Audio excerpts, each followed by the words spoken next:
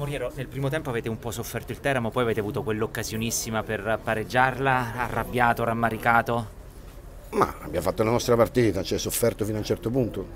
perché comunque sì avevo deciso di abbassare il baricentro, la squadra ha fatto un ottimo possesso palla, ci sono state delle trame importanti, potevamo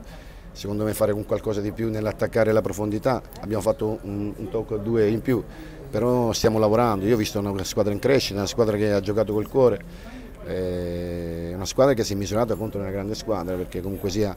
eh, il Teramo è una grande squadra, eh, sapevamo che anche loro erano in difficoltà, io non credo che oggi la Cavese abbia dimostrato di essere inferiore al Teramo, ce la siamo giocata a modo nostro, è normale che dobbiamo migliorare, perdere fa sempre male, però anche delle sconfitte comunque eh, bisogna imparare. Oggi abbiamo imparato secondo me che ce la possiamo giocare contro tutti e questa deve essere la nostra mentalità, normale che che anche nelle piazze comunque sia che ti devi salvare eh, la sconfitta fa sempre male, però io sono convinto che i miei ragazzi cresceranno ancora di più perché se, metto, se questa è la Cavese io sono convinto che faremo passi da gigante. Ecco. Bisogna avere pazienza perché siamo alla quarta partita, eh, come ce l'abbiamo noi le difficoltà ce le hanno gli altri, però ho visto una squadra di carattere, una squadra che ha giocato, ha tenuto il possesso palla, dovevamo eh, magari attaccare di più la profondità questo è vero, abbiamo avuto la sfortuna magari di subire anche il secondo gol, un euro gol e lì non è che possiamo fare miracoli. E abbiamo avuto anche l'occasione di pareggiare, c'è stata la traversa, c'è stato episodio eh, sfortunato, però questo fa parte del calcio, perché il calcio è fatto di episodi, però quello che mi interessava è che la squadra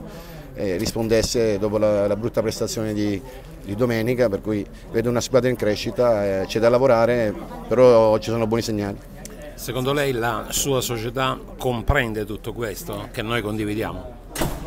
Sì, sì, ho parlato prima con il Presidente, mi ha detto che ha visto una buona squadra, che ha visto una squadra che ha fatto, espresso anche delle buone trame, è normale che dobbiamo migliorare, di stare tranquillo, di lavorare,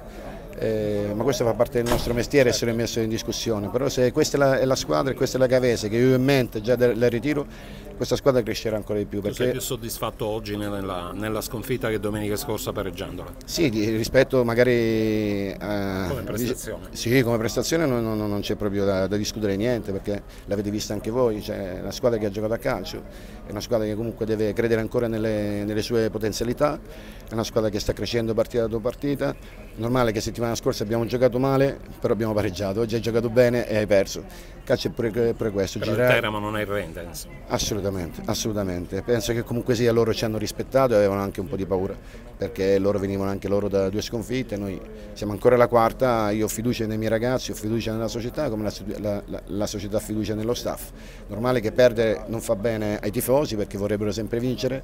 però in questo momento sono io al timone e mi prendo tutte le responsabilità, però se perdere così a testa alta, certo, ti ripeto, fa male perché non meritavamo assolutamente di perdere, però di fronte a un errore o un errore individuale dove comunque c'è una punizione e, li fai ripartire subito, questi sono errori che purtroppo bisogna limare.